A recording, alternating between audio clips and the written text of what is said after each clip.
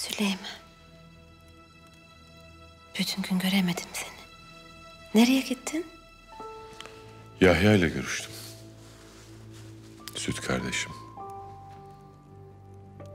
Ne oldu seni üzecek bir şey mi söyledi yoksa? Rüyamı anlattım ona. Hayır mıdır, şer midir diye sual ettim. Bir şey söylemedi. Hayra yoralım. Ayrıca ben ne rüyalar gördüm hepsi çıksaydı.